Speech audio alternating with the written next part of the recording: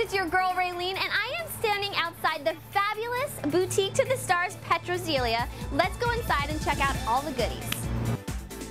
By the way, the Sex in the City Carrie belt, I got it here. Let's go inside and see what else they have for us. The Kardashian sisters love shopping here.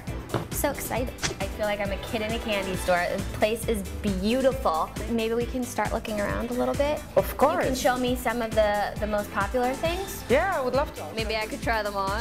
Some of my favorite accessories this season. Hello, yeah, biker gloves. How Yeah. cute. One of my favorite designers this season is exactly what you're looking at. When I bought the collection, I thought I was just having one of those like Nani moments because I was in love with everything. What's a Nani moment? Well, when I'm like in my own little fantasy world of rainbows and unicorns and smiley faces. Not a bad place to be. How amazing, right? Amazing.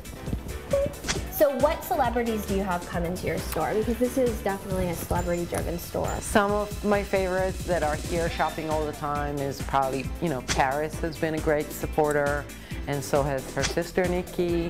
Fergie shops here a lot. Molly Sims. I'm gonna try this one.